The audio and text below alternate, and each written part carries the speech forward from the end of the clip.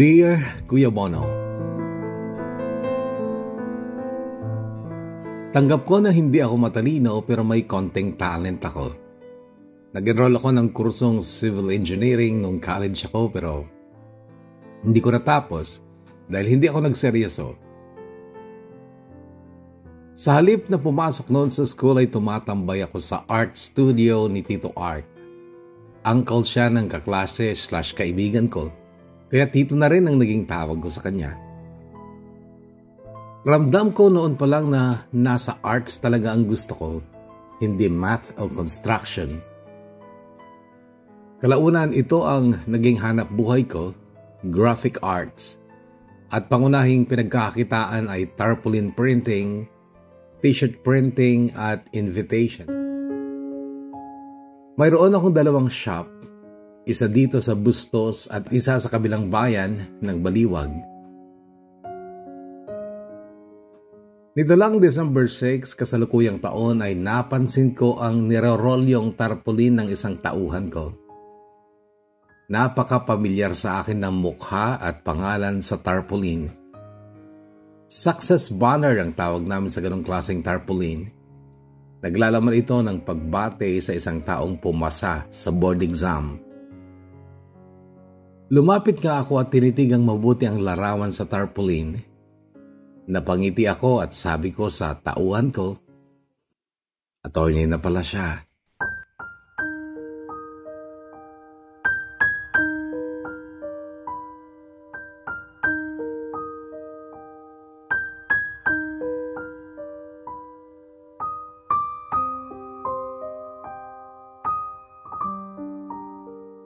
Simpleng babae lang si Kay noon. Iyan talaga ang palayaw niya noong high school kami. Kay kasi ang first letter ng pangalan niya. Gaya ko ay mahirap lang din ang pamilya niya.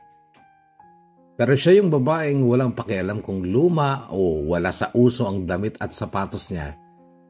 Ang mahalaga sa kanya ay malinis at maayos pa.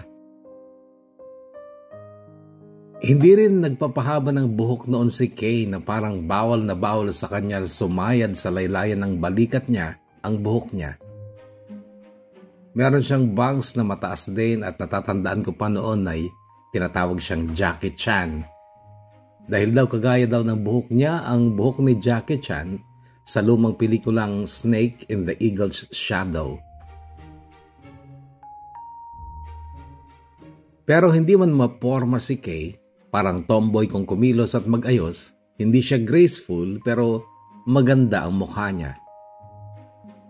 Artist ako noon pa, Mahilig ako mag-drawing at mag-painting lalo na ng mukha kaya ang appreciation ko minsan sa kagandahan ay parte-parte. Maganda ba ang tubo ng kilay? Maganda ba ang mata, ilong, labi, korte ng mukha? Kasi kapag nagdo-drawing ka, parte-parte muna eh. At ako, kilay ang una kong ginuguhit. Susunod ng mata, then ilong, tapos labi. Tsaka ko palang isusunod ang hugis ng mukha bago buhok. Then tenga, tapos babalik ulit ako sa buhok. Magaganda mga partes ng mukha ni Kay. Buhok talaga ang palyado noon. Alam ko yan dahil minsan noon ay ginuhit ko ang mukha niya pero nilagyan ko ng mahabang buhok. Walang bangs, nasa gitna ng ulong hawi at sa bandang ibaba, lagpas sa balikat ay alon-alon ang buhok hanggang sa tapat ng dibdib. Napakaganda niya sa drawing kong iyon pero nadismayan lang ako nung ipakita ko sa kanya at hindi niya ito nagustuhan. Ba't mo? Ang ganda mo kung ganito ka oh. Sabi ko pa noon. Sus Abram, di ko ma-imagine ang sarili ko na ganyan ang itsura ko. Tsaka tigil-tigilan mo ang pagguhit mo sa mukha ko. Mag-review ka ng lessons natin, hindi yung drawing ka ng drawing dyan. Sa ito ang passion ko eh. Rason ko noon. Abram, napakadalang lang ng taong yumayaman sa fine arts, tandaan mo yan. Ang arts para sa ating mahihirap, libangan lang. Hindi pwedeng kahit pagtanda natin, mahirap pa rin tayo. Magkaroon ka ng ambisyon, hindi passion-passion lang.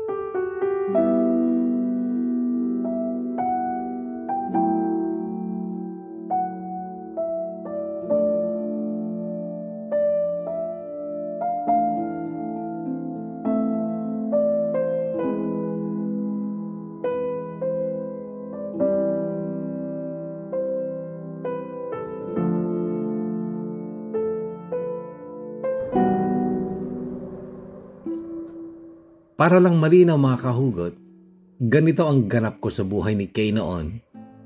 Best friend slash bodyguard slash alalay. Malinaw yan sa kanya at sa paningin ng iba. Pero para sa akin, masaya akong nagagampanan ko lahat yon dahil mahal ko siya at sure ako na alam niyang mahal ko siya. Hindi lang sa ilang beses ko nang nasabi sa kanya kundi maging sa kilos at gawa, pinapakita at pinapadama ko sa kanya na mahalaga at espesyal sa sa akin sa paraang kaya ko. Pero siya kasi, nung high school kami, wala pa talaga sa isip niya ang love-love na yan. Wala siyang pakialam sa mga klase naming nagkakainlaban at lalong wala siyang pake sa mga babaeng mas mahalaga ang magpaganda at pumorma para magustuhan din ng lalaking hinahangaan nila. Si Kay ang mundo niya noon ay school at bahay lang, pag-aaral at pamilya. Hindi siya ang pinakamatalino sa klase dahil may mga subjects na mahina siya pero hindi naman siya bumababa sa top 5. Magaling siya sa English at Social Studies. Hilig niya ang makipagdebate at magaling siyang magpaliwanag. Huwag na huwag mong kokontrahin sa opinion niya dahil hindi siya titigil hanggat mapatunayan niyang siya ang tama at mali ka. Pero hindi lahat ng kaklase namin ay pinapatulan niya sa debate o kahit sa normal na diskusyon. May mga paborito siyang linyahan noon. Narito ang ilan. Ang mga pumapatol sa bobo ay bobo din. One word is enough for a wise man ang taong walang utak parang latang walang laman, maingay. I will not stoop down to your level. Yung I will not stoop down to your level ay nagagamit niya sa parehong panglalait at pagpapakumbaba. Si Magnolia kasi nakaklase namin ay anak ng may kaya. Isa siya sa mga hinahangaan sa galing niyang pumorma pero average lang ang talino nito. Nagtalo si Kay at Magnolia dahil lang sa schedule ng cleaners sa classroom. Si Kay kasi noon ang naatasang gumawa ng schedule at sinadya ni Kay na ihiwalay si Magnolia sa mga close friends niya dahil daw kapag magkakasama sila ay mas maraming tsikahan at kaartihan ang nangyayari kesa paglilinis sa classroom. Nagreklamo si Magnolia sa teacher namin pero hindi pinansin ni mamang complain ni Magnolia kaya kay Kay na nakiusap si Magnolia pero hindi siya pinagbigyan ni Kay. Nainis si Magnolia hanggang sa nagkasagutan na sila. Maraming dada si Magnolia noon pero nagsimula ng tumahimik si Kay at itinuon na ang atensyon niya sa ginagawa niya. Style ni Kay yon kapag ayaw kanyang kausap talaga. Ayaw niyang magsayang ng oras sa'yo. Pagmumukain kanyang tanga na nagsasalita sa hangin Nainit si Magnelio noon kaya tinulak niya ang noo ni Kay. Tiningnan lang siya ni Kay bago sinambit ang Magnolia, one word is enough for a wise man. Sinabi kong hindi pwede, hindi pwede. Dumakdak ka man dyan, hindi kita papatulan because I have no plan to stoop down to your level. Ano? Hello, Kay? Tingnan mo nga yung sarili mo. Humarap ka nga sa salamin para makita mo kung magka-level tayo. Napaka-jologs mo, no? Look at you. You're just a garbage. Yun naman ang sagot ni Magnolia. Sa mga ganong tirada, lalo ka lang maiinis kay Kay at alam ko na kaagad kung anong isasagot niya. Magnolia, ang ingay mo. Alam mo bang ang taong walang utak ay parang latang walang laman? Maingay. Pero sinagot pa rin siya ni Magnolia. Oo, maingay ako pero losyang ka. Ang bakit mo kaya? Tapos sasabihin mo na hindi mo ako ka-level? Hello? Sino ka ba sa akala mo? Eh anong dinadakdak mo, Magnolia?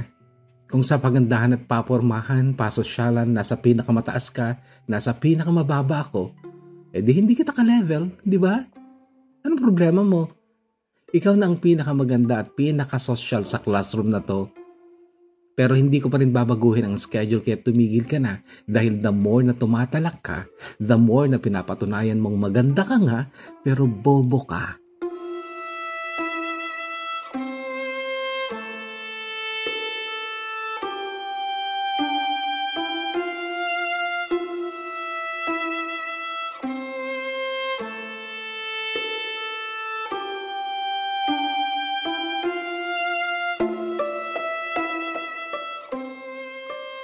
Napakatatag ni Kay sa paniniwala at prinsipyo niya. Hindi ka magtatagumpay na laitin siya sa panlabas na anyo niya. Sabihin mo na lahat ng pangit na bagay tungkol sa itsura niya, titingnan ka lang niya sa mata na parang sinasabing, alam mo na ang sagot ko dyan. Noong fourth year kasi kami, umani ng paghanga at simpatya si Kay mula sa mga simpleng estudyante sa school matapos niyang maisulat ang article sa school paper namin na may pamagat na Nakatago ang totoong ginto. Pero bago ang article na yon ay nakapagsulat na rin siya sa school paper namin ng third year kami ng article na may pamagat na Don't judge a book by its cover. Pero dahil sa English ay hindi pumatok sa karamihan ng estudyante, yung nakatago ang totoong ginto talaga ang tinangkilik ng halos lahat ng simpleng mag-aaral dahil Tagalog ang pagkakasulat. Pero ang content ay halos kagaya lang din ng Don't Judge a Book by its Cover. Tumalakay yon sa magagandang katangian ng isang tao na hindi nakikita sa panlabas. And as expected ay pinalabas ni Kay na ang mga humuhusga sa panlabas ay mga taong mabababaw ang pananaw, limitado ang talino, Nagtapos ang article na yon sa linyang ito. Ang taong bulag ang nakakaalam ng totoong kagandahan dahil hindi ito nakikita kundi nararamdaman.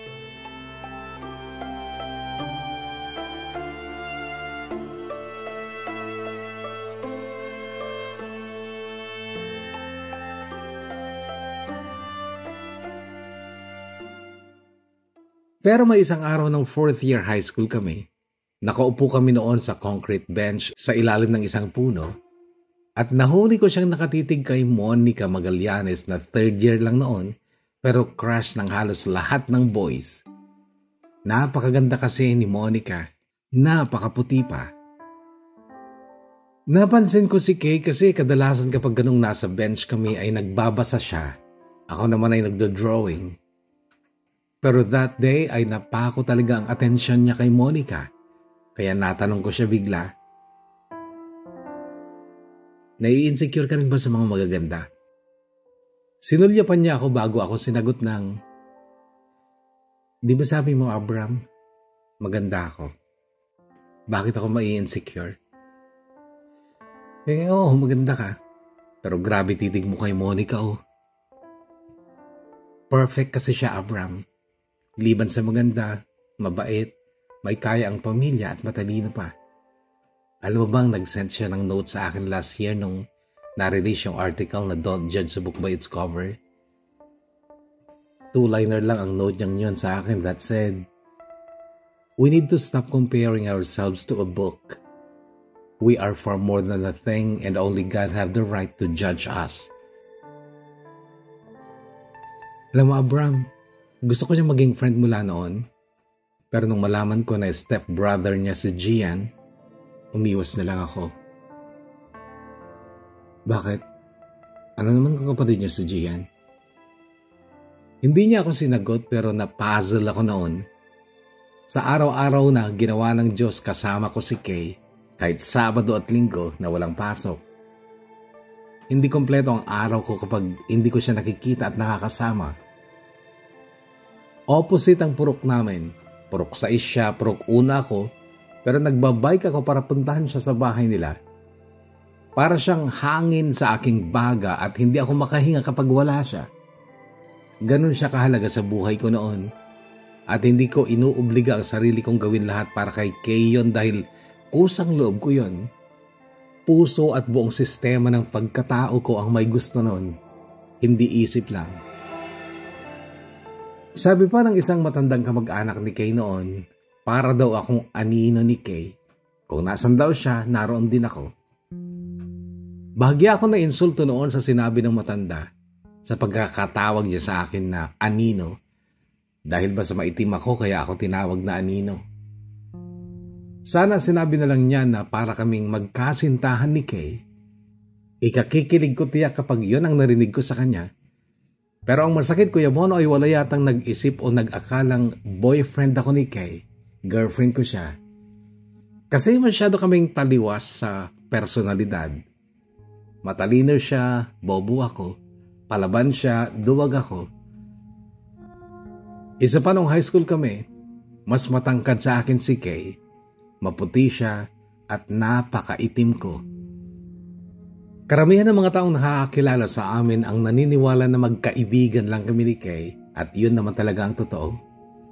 Pero may ilan din nakapansin ng gaya ng totoong tansya ko sa samahan namin ni Kay. Alalay niya ako, parang alipin niya. Kasi kapag naglalakad kami sa kalsada, Laging nauuna si Kay. Madalang kaming magsabay. Hindi lang dahil sa mabilis talaga siyang maglakad na parang bawal sa kanya talaga ang magsayang ng oras. Madalas niya akong nasisigawan noon ng ang bagal mo. Minsan naman, napakakupad mo. Siya lang din ang pala desisyon. Hindi ko matatanda ang ako ang nasunod. Laging siya at hindi ko rin matanda ang minsan ay tinanong niya ako kung ano ang gusto ko. Halimbawa kapag magme-merienda kami sa tindahan, siya na agad ang bibili at kung ano sa kanya, yun na din sa akin. Pero uulitin ko Kuya Bono, hindi ako nanunumbat kung bakit gano'n ang trato sa akin ni Kay noon. Kasi nga, masaya ako kapag kasama ko siya. Kahit gusto niya ang laging nasusunod, wala lang sa akin yon. Dahil ang gusto ko naman talaga ay makita siya, makasama siya, siya mismo. Siya mismo ang gusto ko.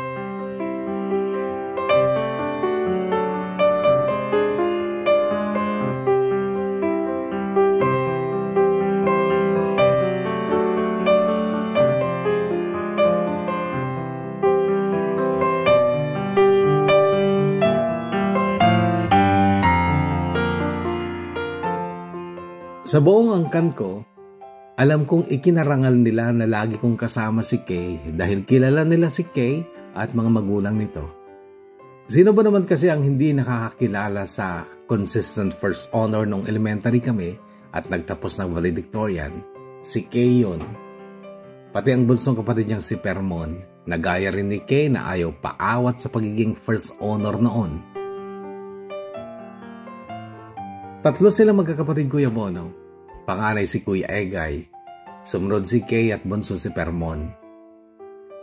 Malalaki ang agwat ng edad nila. Pitong taon ang tanda ni Kuya Egay kay Kay at anim na taon naman na mas matanda si Kay kay Permon. Hindi nakapag-aral ang mga magulang nila. Ang nanay nila ay naglalako ng kung ano-anong merienda na sariling luto niya. Tinitinda niya sa mga bahay-bahay kapag hapon. Ang tatay naman nila ay nakikisaka lang pero manginginom pa pero siya Kuya Bono yung lasenggo na mabait at masayahin.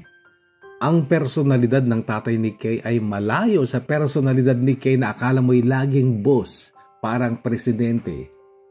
Ang tatay kasi niya ay mapagpakumbaba at walang yabang sa katawan. Okay lang sa kanyang malait o mapagtawanan. Pintasan man siya, sa halip na mapikon, magpapatawa pa. Ayaw na ayaw ni Kay na ginaganon-ganon lang ang tatay niya. Noong mga bata pa kami, ikinahiyapan niya ang tatay niya dahil minsang lasing ito ay nahulog ang shorts niya sa pagsasayaw-sayaw niya. Nakakatulog din ito sa kung saan-saan kapag hindi niya na kayang umuwi sa bahay nila dahil lasing nga. Minsan sa waiting shed o sa kung saan sila nagiinuman, makikita mo na lang si Permon na nakaupo sa tabi ng tulog na tatay niya. Binabantayan hanggat sa magising na. Si Papa ko naman, walang bisyo at madalang makisalamuha sa ibang tao. Bukid bahay lang ang buhay niya at libangan nito ang makinig at manood ng balita. Si Mama naman ay madalang namin makasama mula elementarya hanggang high school dahil napakatagal niyang naging domestic helper sa Saudi Arabia. Si Ate Erva ang nagbestulang nanay naming tatlong magkakapatid noon. Si Ate Erva ay anak ni Papa sa una nitong asawa kaya kapatid lang namin si Ate Erva sa ama. Sampung taon ang tanda sa akin ni Ate Erva at sa aming tatlong tunay na magkakapatid ay ako ang pinakamatanda. Sumunod si Igel at bunso si Amanda. Napakabuting ate ni Ate Erva, masipag, mabait, mapagpasensya. Kaya nga hindi kami napagod ng mga bata kami dahil halos lahat ng gawain ay inaako niya Ayaw din kasi niya ng trabahong basta-basta. Metikulosa siya sa mga bagay-bagay kaya mas gusto niyang siya na lang ang gagawa kaysa ipagawa sa amin. Kadalasan ang ambag lang naming magkakapatid noon ay taga-bili sa tindahan dahil ayaw na ayaw naman ni Ate Erva ang lumabas ng bakuran. May dalawang kaibigan si Ate Erva. Sila sina Ate Meli at Ate Irene. Si Ate Irene ay pinsang buo ni Kay at ang mga ito ang dumarating sa bahay para makabanding nila si ate. At isang araw nga nung fourth year high school na ako ay narinig kong nabanggit ni ate Irene ang pangalan ni Kuya Egay na kuya ni Kay. Pero nung lumingon ako, inawat ni ate Ervan si ate Irene at nakita ko pang sinenyasan niya ito na huwag lakasan ang boses niya. Yun pala, nagsusulatan noon si ate Erva at Kuya Egay sa Baguio kasi noon nagtatrabaho si Kuya Egay bilang guardia. At pinakamahalagang dahilan noon ng pagpunta-punta ni Ate Irene sa bahay ay upang mag-abot ng sulat ni Kuya Egay kay Ate Erva. Mas matanda si Ate Erva ng tatlong taon kay Kuya Egay. Pero sa totoo lang hindi yon halata dahil mas batang tingnan si Ate Erva sa edad niya. Noong fourth year high school na ako ay 26 na si Ate Erva 23 naman si Kuya Egay. At ang pinagtataka ko ay hindi rin alam ni Kay na nagsusulatan ng ate ko at kuya niya. Nagkibit balikat lang siya noon na para bang hindi siya interesado sa kwento ko. At inaasahan ko naman na yun dahil walang pake si sa ganong kwento ng pag-ibig. At ang buong akala ko noon Kuya Bono ay wala lang talaga siyang panahon para kiligin. Hindi niya gusto ang ma-inlove. Pero mali pala ako dahil ang totoo ay may minamahal pala noon si Kay. Sana isipin niyong ako. Pero hindi ako. Kundi si Gian, ang kuya ng sobrang gandang si Monica Magallanes.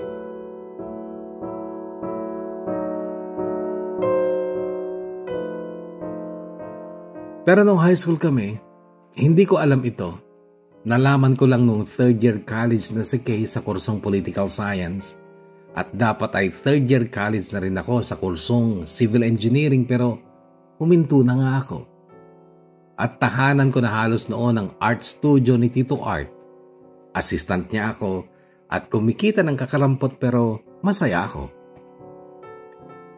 Isang araw ay dumating si Gian at ate niyang sobrang ganda na sa ate Sheena upang magpagawa ng invitation para sa first birthday ng anak ni ate Sheena.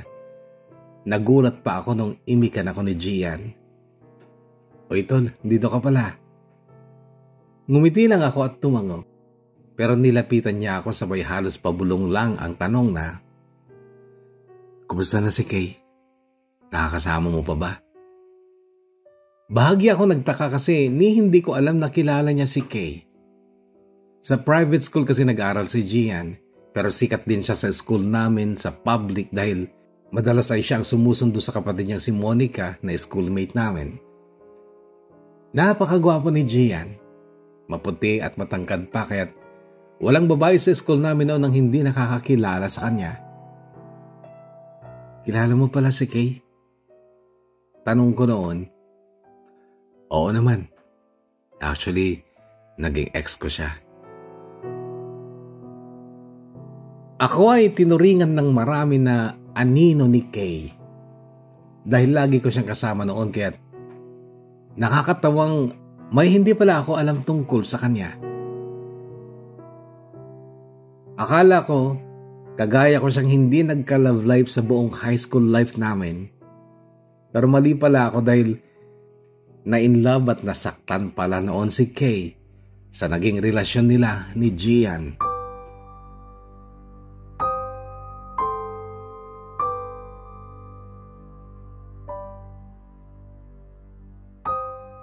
Iniisip ko nun Kuya Bono, ganun ba ako katanga? o sadyang magaling lang maglihim si Kay. Naalala ko din nung high school kami na pwede sanang maging kaibigan ni Kay si Monica pero pinili ni Kay ang dumistansya kay Monica. Yun pala, may something na noon si Kay at Gian na kuya ni Monica.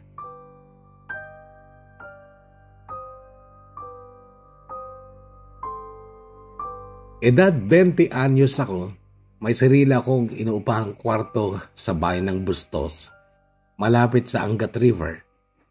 Pangit lang ang kwartong yun pero may malaking bintana kasi na nakataraw sa idog.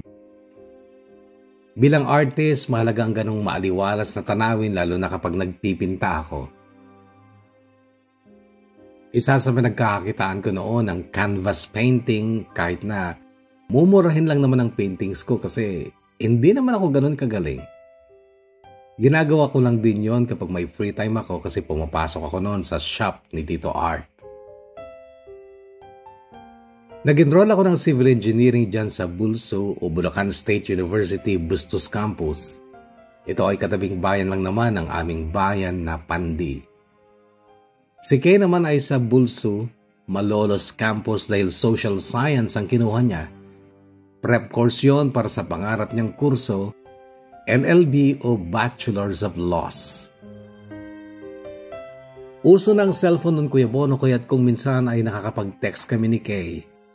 Oo, kung minsan lang kasi madalang siyang mag-reply. At nauunawaan ko yun dahil focused yun sa pag-aaral niya. First year college kami, miss na miss ko siya. Madalas natatagpuan ko na lang ang sarili kong nakasakay ng jeep papuntang Malolos upang makita at makausap kahit saglit lang si Kay kapag labasan na niya ng school. Never niya akong inimbita kahit saan. Ni hindi ko nalaman kung saan ang boarding house niya pero alam kong all girls lang sila doon at bawal ang bisita lalo na kapag lalaki. Second year college ako, napipilitan na lang talaga akong pumasok dahil marami akong back subjects at mabababa talaga ang grades ko. Hindi ko na talaga gusto noon ang engineering.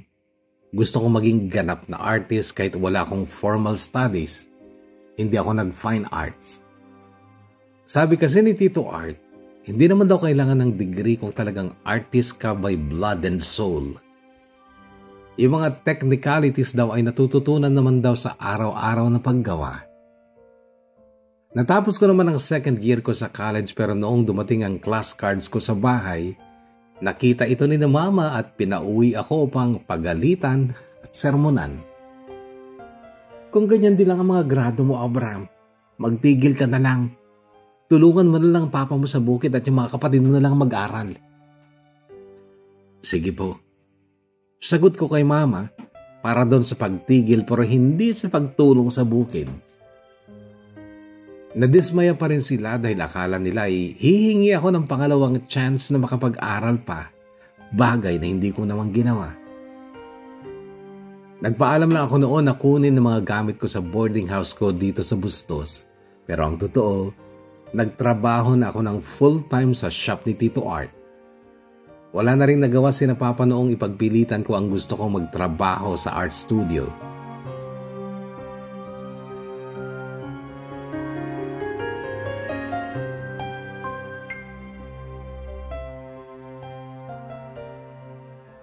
Noong panahong yun ko na din gustong ligawan ng formal si Kay.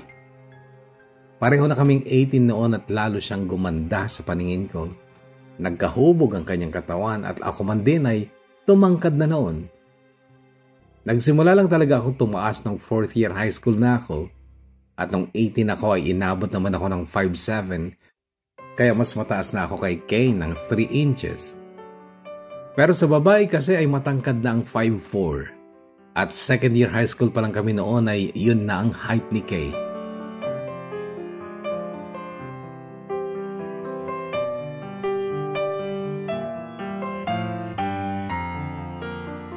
May isang hapon na nag-text ako kay Kay.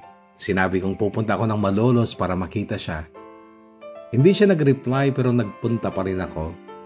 Bumili pa nga ako ng tatlong fresh roses noon na Mabuti na lang at hindi naman nalanta sa tagal ng pag-aabang ko sa gate ng bulso.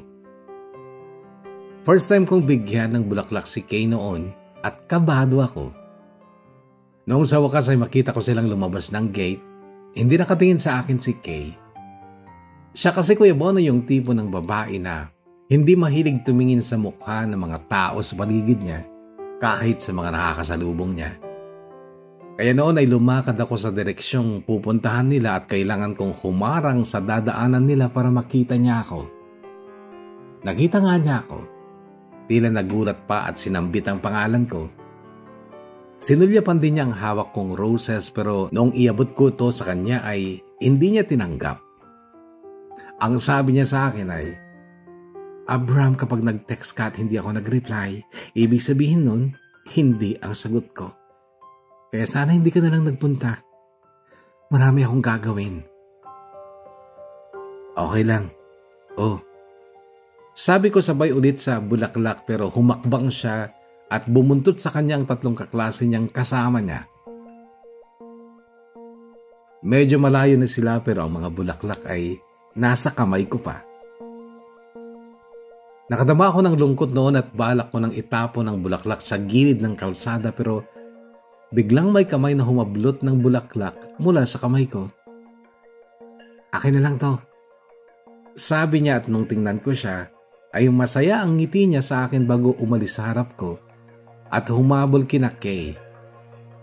Isa siya sa tatlong kasama ni Kay and that time, hindi ko alam ang pangalan ng mga kaibigan ni Kay. Maganda siya. Short hair din kagaya ni Kay pero may style ang buhok niya. Napakakinis ng mukha, fresh na fresh at may manipis siyang makeup noon. Sinundan ko siya ng tingin noong humabol siya kina Kay. Maganda ang lakad niya, umiindayog ang balakang niya kasabay ng kanyang paghakbang. Maganda ang hubog ng katawan niya. Masasabi kong may problema na lang sa katawan ng lalaking hindi mapapatingin sa kagandahan at kaseksihan niya.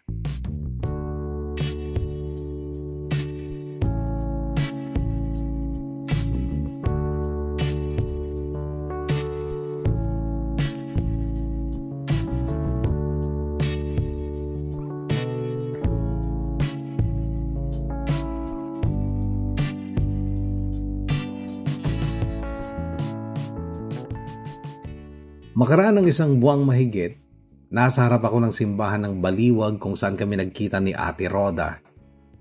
Si Ate Roda ay kaibigan ni Tito Art at si Ate Roda ang taga-benta ng mga paintings ko noon. Nagkita kami noon upang kunin sa kanya ang napagbentahan niya ng dalawang paintings ko. Paalis na ako noon mula sa harap ng simbahan nang mapansin ko ang babaeng palabas naman ng simbahan at dati nang nakatingin sa akin. Maganda ang kanyang ngiti kasabay ng pagkaway niya sa akin. Hindi ko inaasahan Kuya Bono na lalapit siya sa akin at kakausapin ako. Siya si Kath. Kaibigan ni Kay at siya yung babaeng kumuha ng bulaklak na dapat ay para kay Kay. Ba't nandito ka? Yun ang unang tanong niya sa akin kasabay ng kanyang matamis ng ngiti. Sinabi ko ang totoo na nagkita kami ng babaeng taga-benta ng paintings ko. Artist ka pala? Alam mo, mahilig na ako mag-paint. Talaga? Eh, ako beginner lang. Sagot ko. Hanggang sa inaya niya akong umupo sa Glorieta Park na nasa tapat lang ng simbahan. Pumwesto kami sa bakanting steel bench doon at nagsimula ng masarap na kwentuhan. Mahigit isang oras kami doon at nung bago mag alas 12 ay inaya ko siyang kumain sa fast food sa tapat lang din ng pabilog na park. Sumama naman siya at hindi ko din inaasahan Kuya Bono na napapayag niya kung isama ko siya sa inuupahan kong kwarto dahil gusto daw niya makita kung saan ako nagpipinta. First time yun Kuya Bono na may makasama akong babae na kami lang dalawa. Maliban siyempre kay Kay First time ko ding magdala ng babae sa boarding house ko. Kaya naman, nagtaka talaga mga ka-boardmates ko. Namamangha ang tingin nila sa akin dahil maganda at sexy talaga ang kasama ko. Nung nasa kwarto na kami, malakas ang kabog ng dibdib ko. Tinutubig ang lalamunan ko noon kaya't pasimpleng lunok ako ng lunok. Hindi ko itatanggi Kuya Bono na matindi na noon ang pagnanasa ko kay Kath. Virgin pa ako noon sa edad kong 20. Wala pa akong babaeng nahalikan pero eksperto na ako noon sa pagmamariang palad habang nanonood ng video sa cellphone ko o nakatingin sa malalaswang magazine na tinatago ko lang sa ilalim ng foam ng kama ko. Sa totoo lang, nakasakay pa lang kami sa tricycle noon, papunta sa boarding house ko, sumisipa na si Junjun. Kasi naman hindi ako pinayagan ni Kath na pumwesto sa likod ng driver ng tricycle Pinilit niya akong umupo doon sa loob katabi niya. Magkatabi lang ang baliwag at bustos. Ilog lang ang pagitan pero mahaba-haba din kasi ang biyahe kasi sa tricycle lang kami sumakay. At sa loob pa nga lang ng tricycle ay talagang hinamon na ang pagtitimpi ni Junjun ko.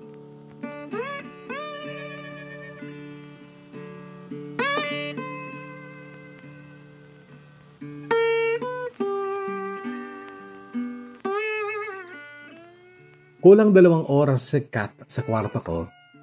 Inihatid ko din siya ng baliwag. Tagaroon siya at sa malolos ay naka-boarding house lang din siya. Roommate siya ni Kay.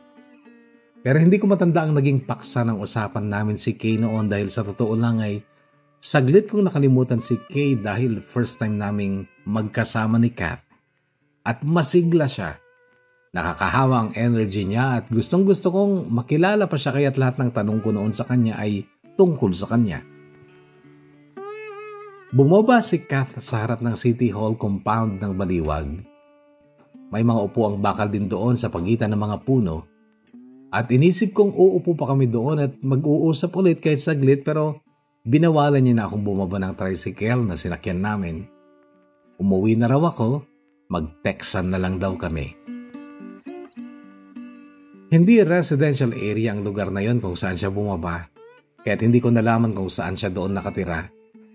Basta ang alam ko noon ay masaya ako kasi nalaman kong magkalapit lang kami ng lugar at inaasahan ko talagang muli kaming magkikita at magsasama at iyon naman Kuya Bono ay nangyari nga ng paulit-ulit pa.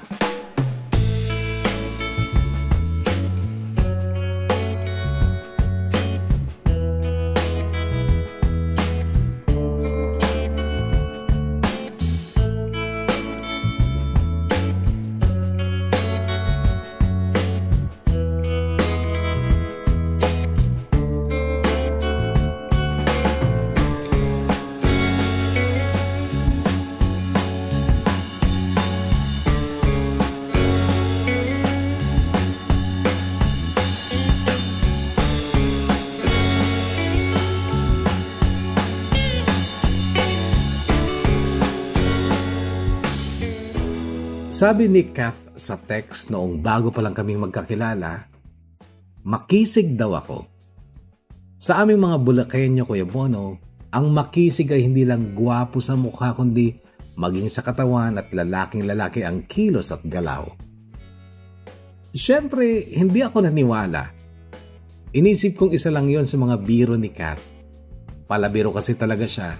Laging masigla at ayaw niya ng boring na kwentuhan. Hindi nagtagal ay nahulog na ng tuluyan ang loob ko kay Kath. Dahil ba naman sa araw-araw ko siyang kateks, katawagan, ka-roommate niya si Kay sa boarding house nila pero hindi alam ni Kay na may ugnayan kami ni Kath. Sa isip ko noon, wala namang kaso kung malaman ni Kay kasi siya nga wala naman siyang panahon para sa akin ni hindi nga nagtitext. Bagay na pinagtataka ko talaga dahil Pareho lang sila ng kurso, political science dahil pareho nilang gustong maging abogada. Magkaklase pa sila. Pero bakit si Kat laging may free time para sa akin, samantalang si Kay laging busy? Inisip ko na lang noon na siguro hindi gaanong seryoso si Kath sa pag-aaral niya. Hindi siya yung tipo na nagsusunog ng kilay, eka nga. Hindi lang din sa hindi ako naniniwala kay Kath na makisig ako, Kuya Bono, kundi alam ko ding alangan ako sa kanya kaya kahit close na kami ay hindi ako nagsamantala o naglakas ng loob na ligawan siya kahit na gustong gusto ko na siya. Nakokontento na lang ako noon sa pagkakaibigan lang namin. Ganon kasi ako, Kuya Bono. Alam ko kung saan ko ilulugar ang sarili ko.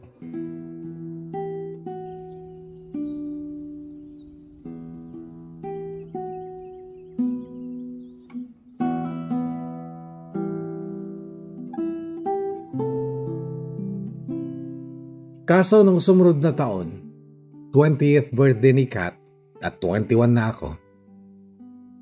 Nagtaka ako dahil gusto niyang magkita kami mismong araw ng birthday niya. Meron daw kaming gagawin at regalo ko yun sa kanya. Sinundo ko ulit siya sa harap ng City Hall ng Baliwag at sumama siya sa boarding house ko. Actually, may regalo ako noon sa kanya, Kuya Bono, at nakabalot na Isang kulay puting blouse na simple lang pero inabot ng mahigit isang libo ang presyo.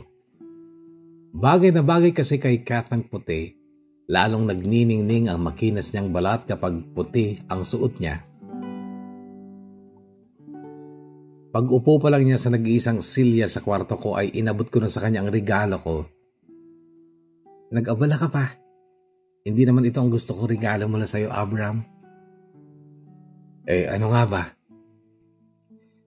Gusto kong ipinta mo ako ng nude.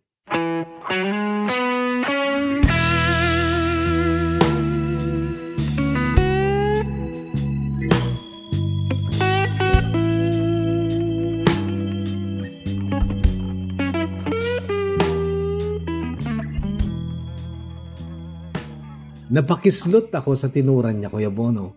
Pero tumawa ako dahil akala ko nagbibiro siya pero hindi pala. I-ready mo na mga gamit mo. Maghapon tayo dito, Abram, dahil pagkatapos mo akong ipinta, ikaw naman ang ipipinta ko ng nakahubot-hubad din. Ang lalakas ng kabog ng dibdib ko noon, Kuya Bono, na para bang hirap na akong huminga. Pakiramdam ko, mawawalan na ako ng malay nung maghubad nga si Kath sa harapan ko. Parang nanginginig ang kamay kong may hawak ng paintbrush noon. Hindi talaga ako komportable at parang nahihiya akong pagmasdan ng napakaganda at napakakinis niyang katawan. Yun yung sinasabi nilang kung ulam ay wala kang itatapon. Nagulat lang ako nung tumayo si Kat bigla sa kinauupuan niya at lumapit sa akin. Sa harap ko ay tumayo siya Talagang hindi ko kayang erekta ang mga mata ko sa hubad na katawan niya. Hindi tayo matatapos kung ganyan ka. Tumayo ka muna. Eh, hindi ko magawang tumayo noon kayo, Bono, kasi kapag tumayo ako, makikita niyang nakaturo ang tarugo ko. Kaso hinila niya na ako pataas. At pagtayo ko'y siya na mismo ang nagtaas ng t-shirt ko at pagkatapos nun ay siya na mismo ang siya na mismo ang naglapat ng mga labi niya sa labi ko. Aalisin ko muna ang hiya mo. Paanas niyang sabi kasabay ng paghila niya sa akin sa pang-isahan lang na kama ko kung saan ang aming katawan ay napag-isa sa isang pagtatalik na kahit kailan Kuya Bono ay hinding hindi ko makakalimutan.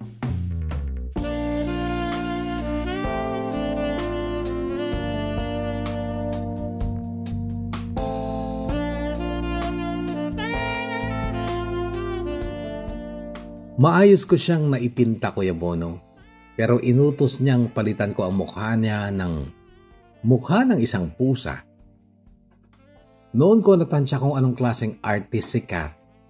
Wild ang imagination niya. Umayag din akong ipinta niya ako ng nude. Pero ang mukha ko naman ay hiniling kong palitan niya ng mukha ng daga. Kaso ang sabi niya, bakit daga? Aso dapat. At siya ang nasunod. Hindi raw ako pwedeng maging isang daga dahil ang daga ay laging nagtatago sa lungga at laging tumatakbo dahil takot na takot sa paligid niya. May talent ka, Abram. Be like a dog who is always proud and fierce and loyal sa mahal niya. Dugtong ko. Napasulyap sa saglit sa mga mata ko at nagulat ako sa sumunod niyang sinabi. Eh kaso sinira mo ng pagiging loyal mo, Abram. Siguro hindi mo lalaman ng iba ang nangyari sa atin kung hindi mo ikukwento. Pero sa sarili mo, alam mo na hindi ka na loyal kay Kay. Kay Kay? Kanino pa ba? Don't tell me na may iba ka. Um, meron na akong ibang mahal, Kat. At ikaw yon. Ngumiti muna siya bago samagot ng Mas bagay ka kay Kay Abram. Isa pa, mahal na mahal ka niya. Napatitig ako sa magandang mukha ni Kath dahil sa sinabi niya na ulit ay hindi ko kayang paniwalaan. Hindi ka naniniwala, di ba? Kasi ako mismo, nakita ko kung paano kanya itinuring. Halos hindi ka nga niya pansinin kapag pumupunta ka ng malolos. Yung roses mo nga hindi pa niya tinanggap, di ba? Pero she's so unique and special, Abram. Paano mo nasabing mahal ako ni Kay? Sinasabi niya. Lagi ka kanyang kinukwento sa amin eh. May picture ka sa wallet niya. Nakatago lang doon. Abram, alam na namin sa kwarto namin ang kwento niyong dalawa. Simula pa ng mga bata kayo. And I think all those memories ay special kay Kay. And Abram, huwag kang ma-fall sa akin. I admit gusto kita. Pero hindi kita aagawin kay Kay. Ganito lang kasi ako, Abram eh. Lahat ng gusto kong lalaki, gusto ko makuha ko. At nakuha na kita. Kaya hanggang dito na lang tayo.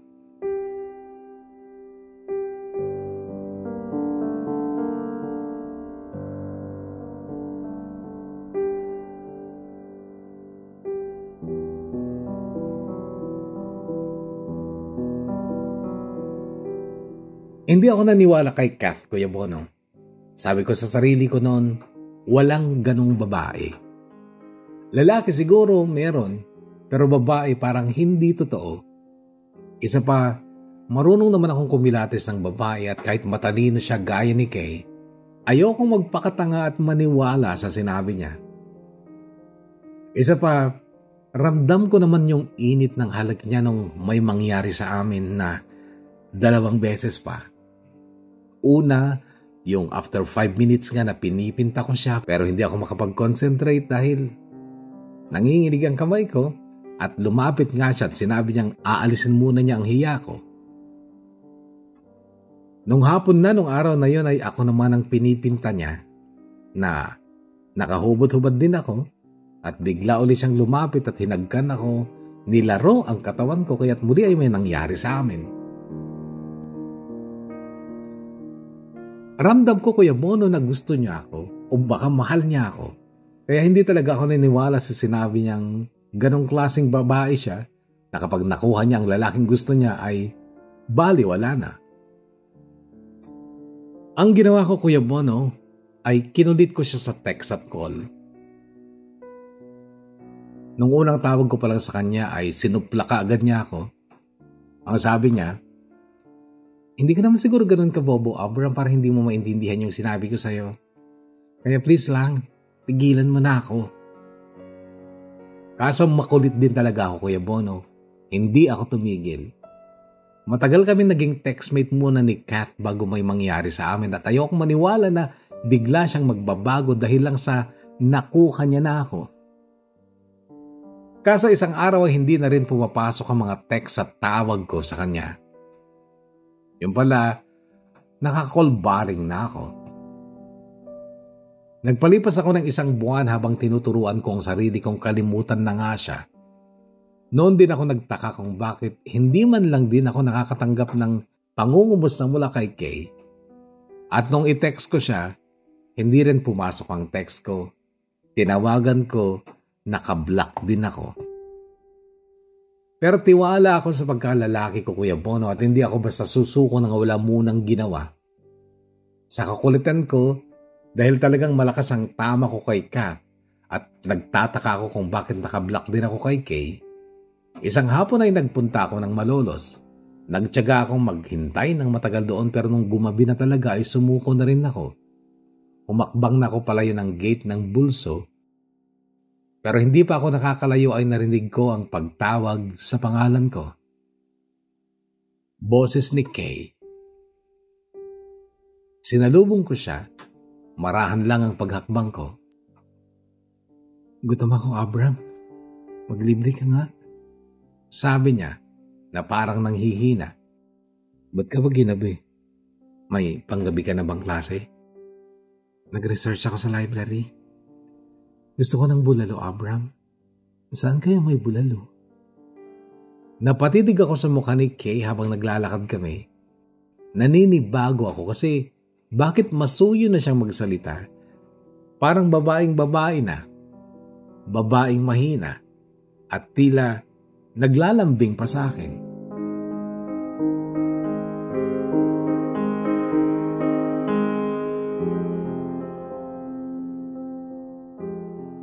Dati, akala mo siya presidente kung magdesisyon kung saan at kung ano ang kakainin namin. Maghahanap tayo. Sabi ko patungkol sa bulalo, tsaka ako huminto upang paunahin siya sa paglalakad gaya ng nakasanayan ko kapag kasama ko siya. Lagi siyang nauuna at nakabuntot lang ako sa kanya. Pero nagtaka ako sa ginawa niya Kuya Bono. Humawak siya sa braso ko Dalawang kamay niya ang tila kumapit sa bisig ko. At noong marahan na kami naglalakad ay naramdaman ko pang hinilig niya ang ulo niya sa braso ko at narinig ko ang mahina niyang salita. Pagod na pagod ako, Abram.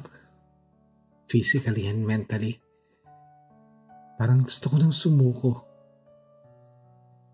Ikaw susuko? Parang hindi totoo. Sabi ko, Nanahimik siya saglit at parang ang higpit ng mga buto ng paan niya. Hirap na hirap siyang humakbang at noong tingnan ko ang mukha niya ay halos nakapikit na siya at tila pagod na pagod nga. Alam mo yung mga Korean novela, Abram, yung kinakarga ng lalaki ang babae sa likod niya. Pwede kaya natin gawin yun? Kailan ka pa nanood ng Korean novela? Di ba, wala kang panahon sa mga ganun. Tanong ko pero bigla siyang napakapit sa braso ko pero bumitaw din at natumba na lang. Buti na lang ay nasalo ko siya bago tuluyang mabuwal sa simento. Nawalan siya ng malay Kuya Bono. Nadala ko siya sa malapit na ospital at doon ay na-diagnose ng doktor na may anemia siya. Sobrang baba ng dugo niya.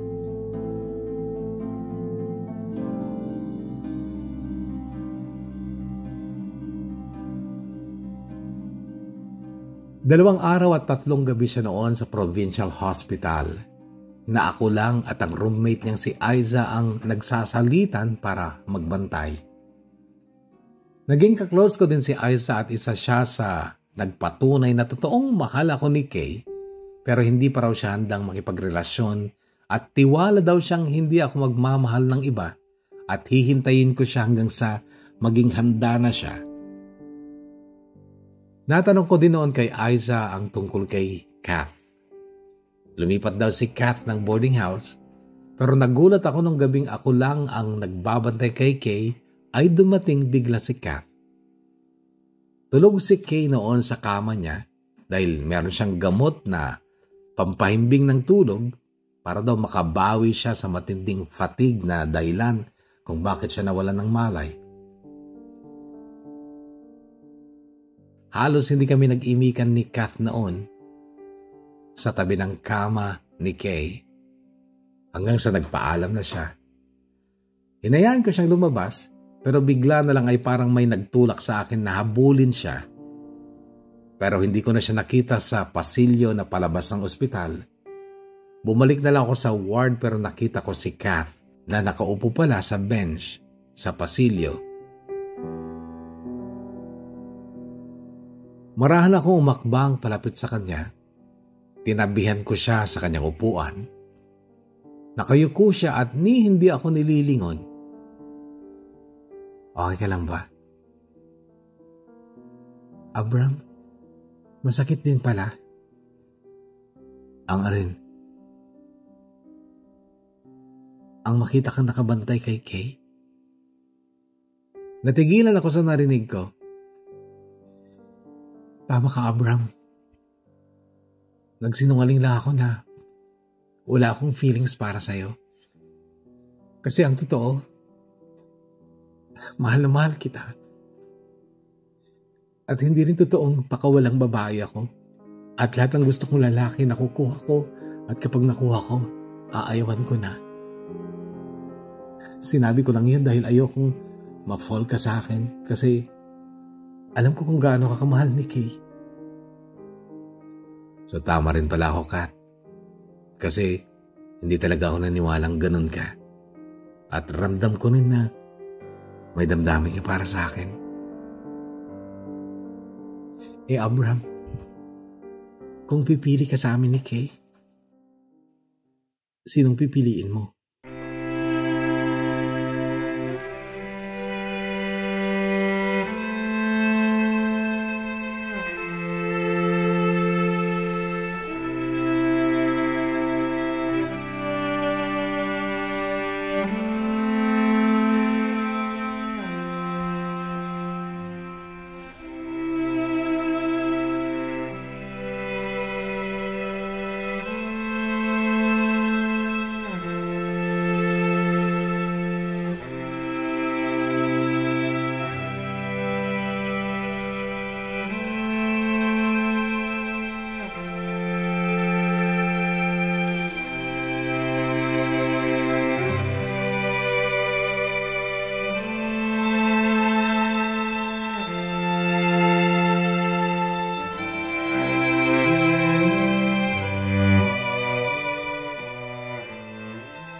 Tandang-tanda ko pa ang petsang iyon nung ma-hospital si Kay, October 3, 2011.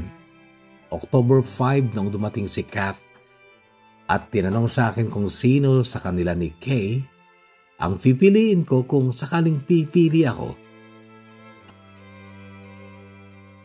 12 years na ang nakaraan ko Yabono mula noon.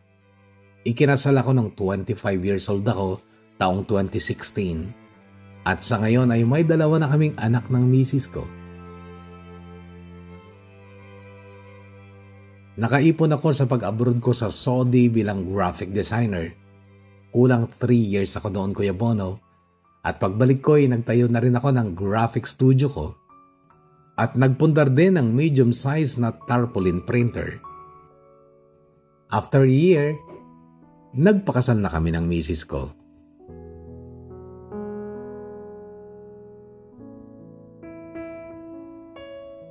At isang araw nga dito sa shop ko sa Bustos, nito lang December 6, kasalukuyang taon ay napansin ko ang niroroll yung tarpaulin ng isang tauhan ko. Napakapamilyar sa akin ang mukha at pangalan sa tarpaulin. Success banner ang tawag namin sa ganong klaseng tarpaulin. Naglalaman ito ng pagbati sa isang taong pumasa sa board exam o bar exam para sa mga nagtapos ng Abu Garcia Lumapit pa nga ako at tinitigang mabuti ang larawan sa tarpaulin. Napangiti ako at ang sabi ko sa tao ko, attorney na pala siya. Attorney na si Kay.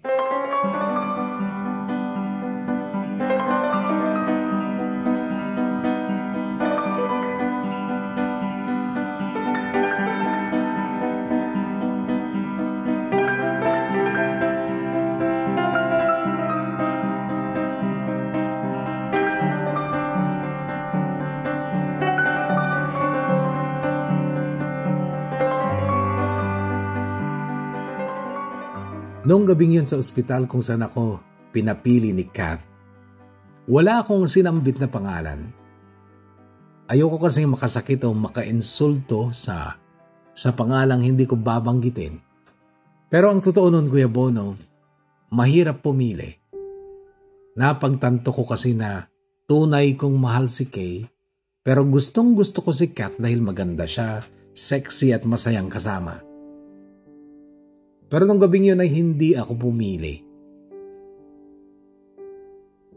Kaya lang ay naawa ako kay Kay dahil napilitan siyang maghinto ng pag-aaral dahil sa sakit niya. Inobliga siya ng magulang niyang maghinto muna. Nanumbalik din ang dating masaya naming samahan ni Kay nung nasa baryo na lang siya. Madalas akong umuwi sa amin noon para lang makita siya. Kaso isang araw ay dumating din si Aiza. Nadatnan niya kaming masayang kumakain ng banana Q na niluto ng nanay ni Kay. Pero napansin kong alanganin ng ngiti ni Aiza at kaagad ding napansin yun ni Kay. Spirit at Aiza, utos niya sa kaibigan niya. Eh, tingin ko nga, tamang pagkakataon nito dahil pareho kayong nandito ni Abram. And, tila naiinip na untag ni Kay kay Aiza, talagang bumalik na siya sa dating napaka-authoritative na personality niya. And I have a big news for both of you. Buntis si Kat. At ikaw daw, Abram, ang ama.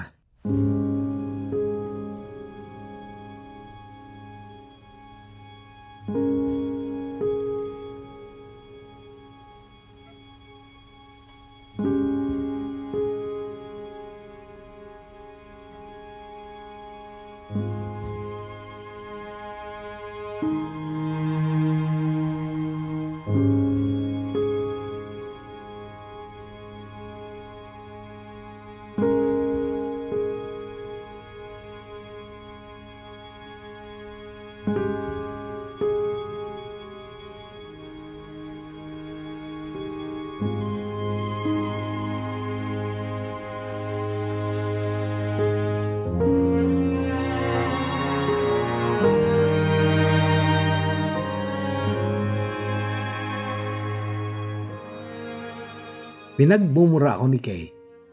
Hindi daw pala niya ako lubos na kakilala. Animal daw pala ako.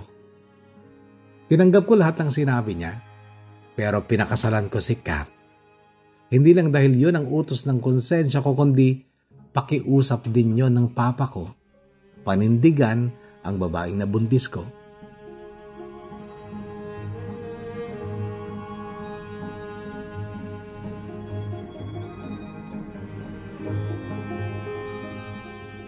Nakatapos naman ang social science course niya si Aiza at nakapagtrabaho sa isang sangay ng gobyerno.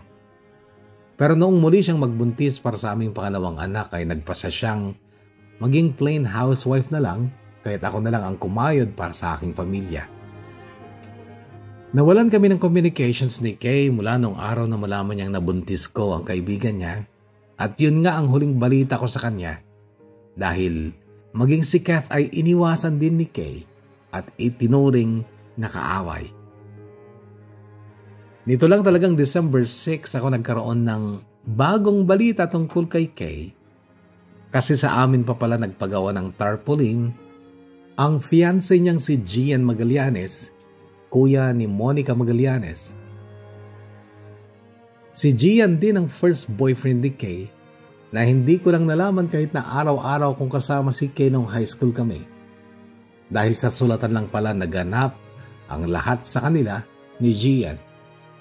Pero nung fourth year kami ay nag-break daw sila dahil sa dami ng babaeng nagkakagusto kay Gian. Pero nagkabalikan sila nung nasa law school na si Kay. Masaya ako para kay Kay, Kuya Bono. Congratulations sa kanya. Natupad niya ang pangarap niya. At fiancé pa niya ang pinakamakisig na lalaking kilala ko sa personal.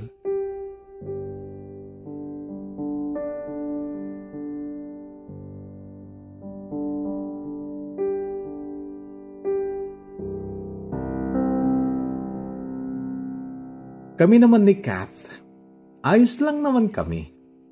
Madalas kaming mag-away, hindi magkaunawaan, hindi kami pareho ng gusto at pananaw. Pero hindi naman kami naghihiwalay. At sa tingin ko, ito ang totoong relasyon, Kuya Bono. Kasi para sa akin, ang totoong relasyon ay binubuo ng dalawang taong hindi perpekto pero parehong ayaw sa salitang hiwalay na tayo. Hanggang dito na lang Kuya Bono at sana'y mabasa mo rin ang simpleng kwento ng buhay at pag-ibig ko. Umaasa, Abram, number one fan at silent listener mo dito sa Bustos, Bulacan.